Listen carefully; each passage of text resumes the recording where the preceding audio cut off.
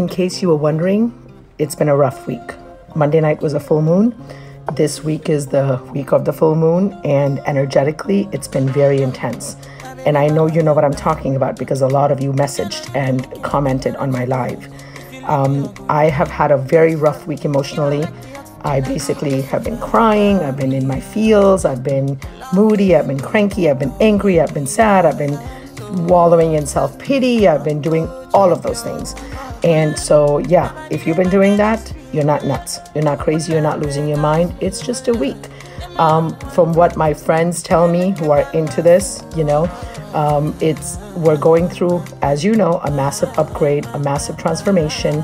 Energetically, there are a lot of light codes coming down. There's a lot of uh, transformations happening. We are all being forced, asked to step into this new us and that means we have to release the old us. We have to release the baggage. We have to release the junk that we're holding on to.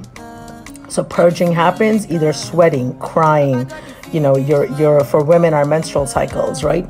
Whatever it is, just allow yourself to just be. And uh, which is why, you know, I have not come on live this week because I've just been too tired.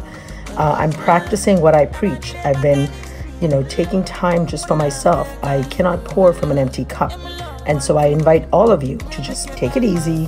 Don't worry about, you know, don't do anything more than you have to do and just relax. This too shall pass. And then we'll have, you know, we'll have days where we'll be okay.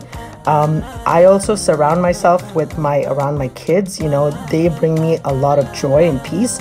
And so I and I'm heading to the beach. I just invite you to make sure you're intentional about you know what energy you're around you know who what music are you listening to? What foods are you eating? You know make sure you're very mindful about all of those things.